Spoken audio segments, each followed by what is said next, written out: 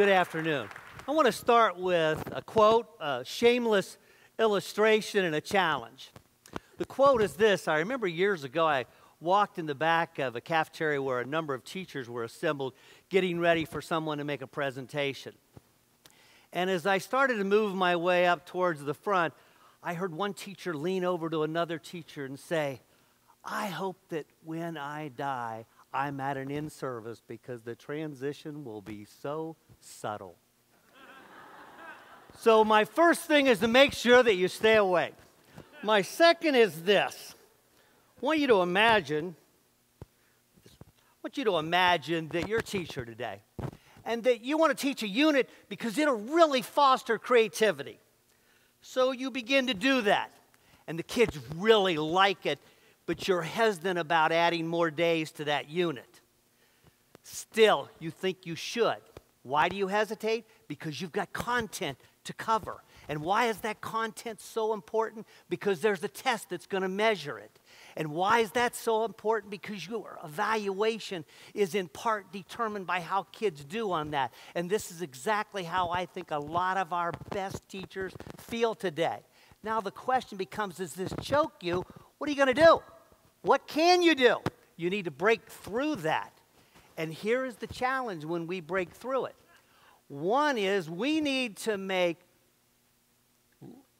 when you think about education, we need to make it about learning, not tests. We need to make it about improvement, not judgment. And we need to make it about relevance, not limits. Now, several years ago, Todd Rose, at an event similar to this, spoke about a problem the Air Force was having in the early uh, 50s. They had a problem with jet fighter pilots. Their performance wasn't very good. So they weren't sure what to do. So at first they thought it's the pilots. That's the problem. We need better pilots. And then after a while, no, it's not the pilots, it's the technology. No, it's not the technology. It must be the training program. We got to improve the training program.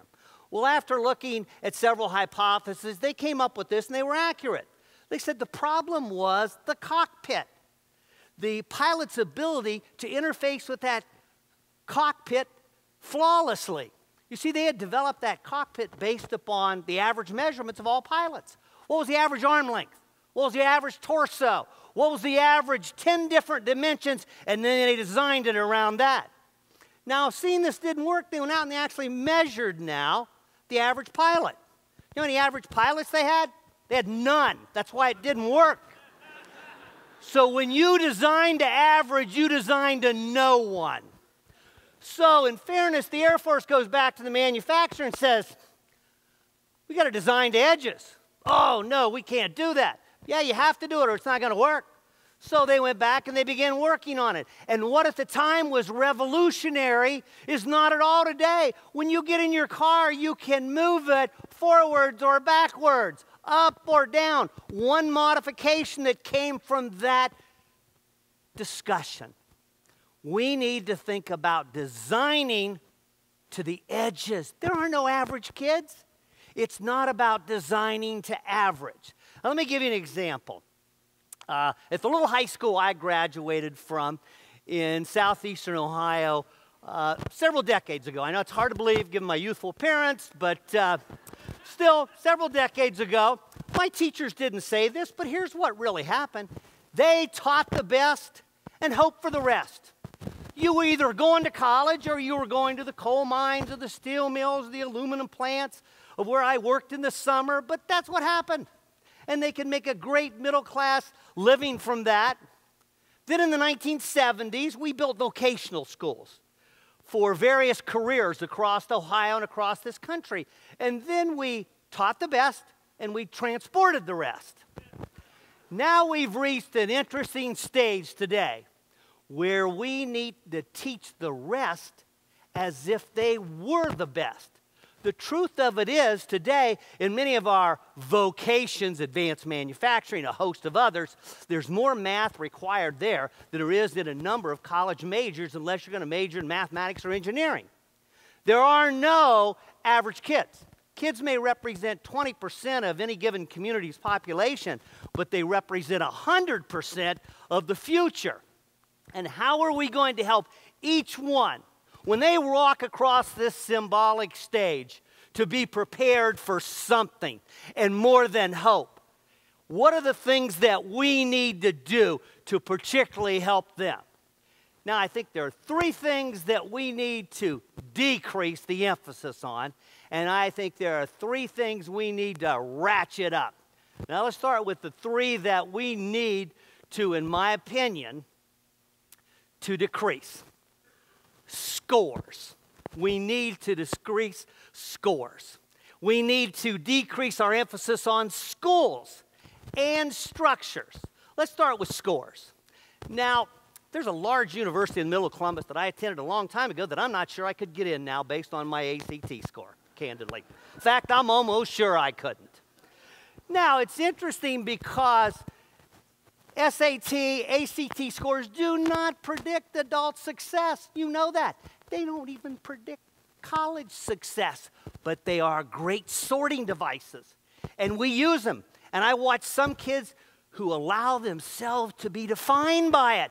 They've pictured where they are on that bell curve and it stays with them forever. And it's nonsense. Now, we do it as a country. People will say to me, Have you seen the latest comparison on the international math and science test? The United States is in the middle of the pack. It's absolutely true. But then I add, do you know they started that in the 1960s? And ever since the U.S. started, we've been in the middle of the pack. But yet, as a country of the last 65 years, we have watched the greatest economic expansion the world has ever seen. So when I think about scores, I think we've done pretty well in terms of creativity and innovation. Here's some scores, maybe, and I realize you probably can't see them, but they're from a book by Tony Wagner.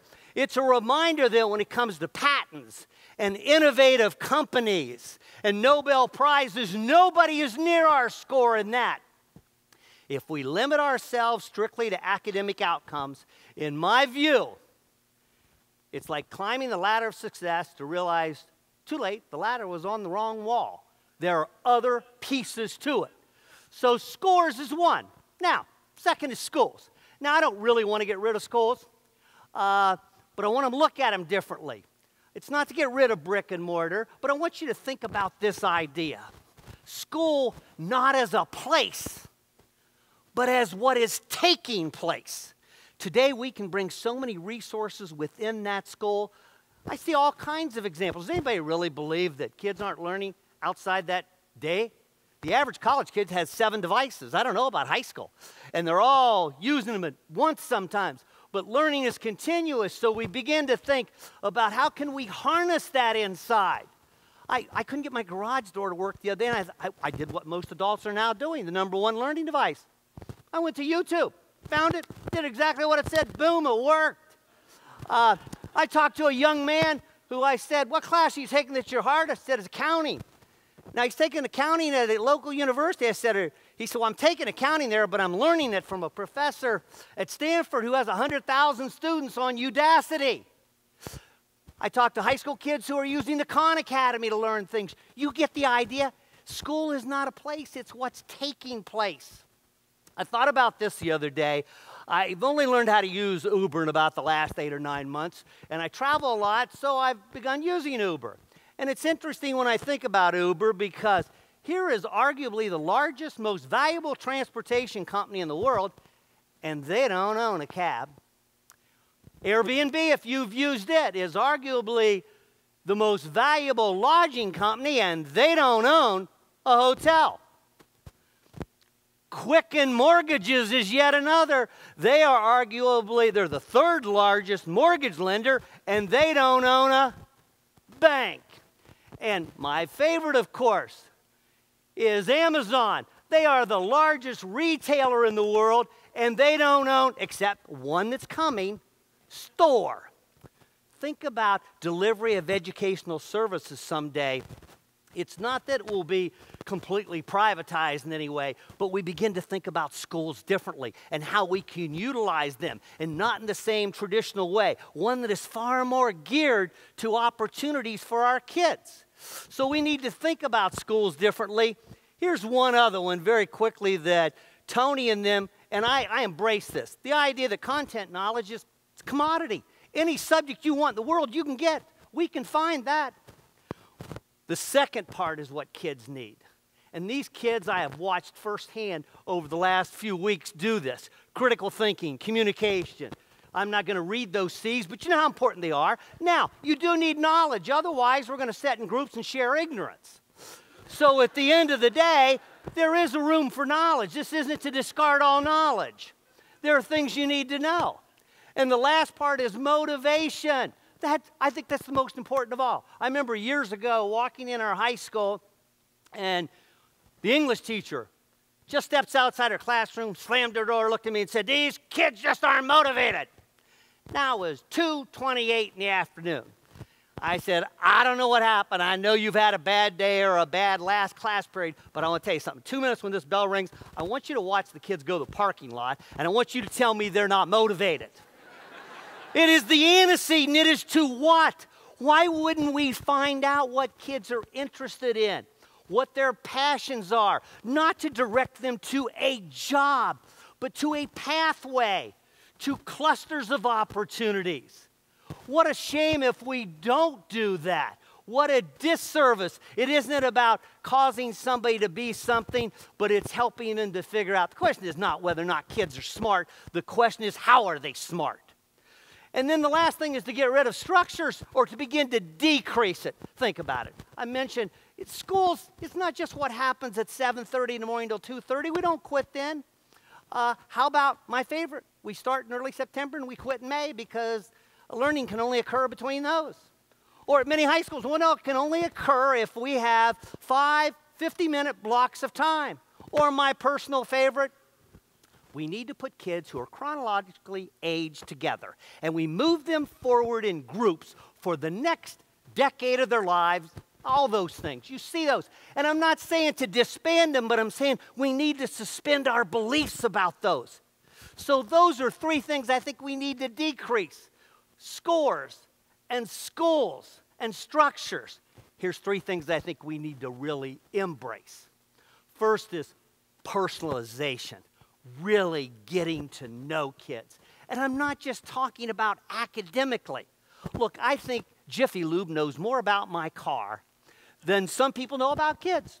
Now, in fairness, teachers say, wait a minute, I got 30 kids class period for five class periods. I can't. It's true. And unless we break some of these structures, you don't. But why wouldn't we want to know? For example, there's a website called Thrively where kids can go on there, take an assessment, and you see what your strengths are. Those are really talents. They only become strengths when you begin to use them. But why not early? We begin to figure out what are kids, what do they have talents for? How can we direct that? How can we do that? We customize everything else. Why wouldn't we want to really know kids? I asked a Harvard researcher who is responsible for the largest teacher effectiveness study ever done in this country. I said, This is how you pick your kid's teacher? Do you look, because I knew he had middle schoolers. I said, Do you look at who they're going to have and see how kids scored on tests? And he kind of smiled and said, No. I said, What do you do? How do you know if your kids have a good teacher? He said, Honestly? I said, Yeah. He said, Well, he said, if they know my boys like to fly fish, they're a good teacher. I said, Why do you say that? He said, Because my boys are very quiet. And for you to know they like to fly fish, you had to dig down and actually listen to them, like Claire talked about. You had to know them. And he said, If my kids know you know they like fly fishing, he said, they will do anything for you.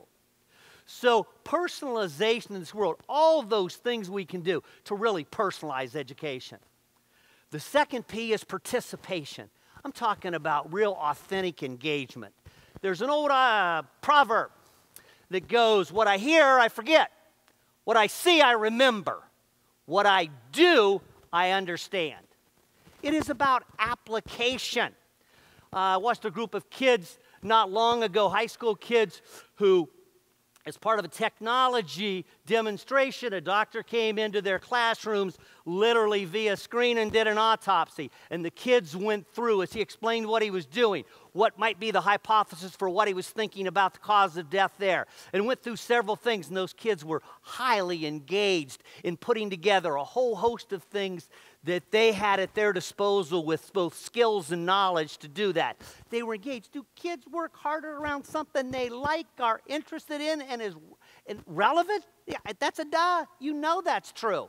So at the end of the day, we've got to increase that whole participation Pete, to make it authentic. I have to tell you, watching this group of young people here over the last few weeks put this entire thing together, you talk about real and putting together teams and all those other things.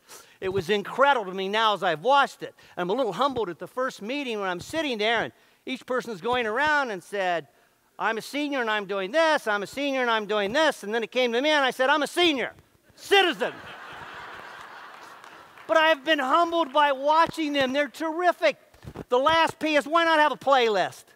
My daughter helped me put together a playlist that has songs not that I like.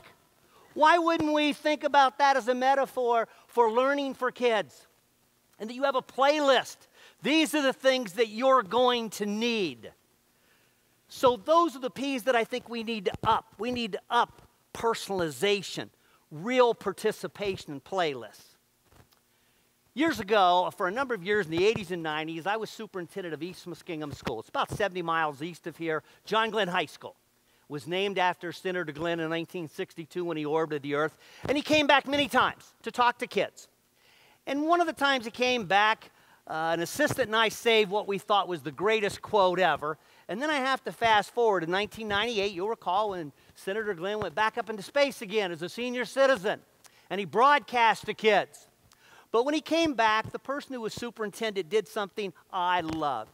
She had someone Photoshop or create a poster that showed the front of John Glenn High School. And in the back was the space shuttle being launched. And underneath it was that quote that we had heard Senator Glenn tell kids many years before if you get your start here, you can go anywhere. That ought to be our aspiration and vision for every kid wherever they go. If you get your start here, you can go anywhere. And for kids, it's about finding out what are your passions and asking people to help you.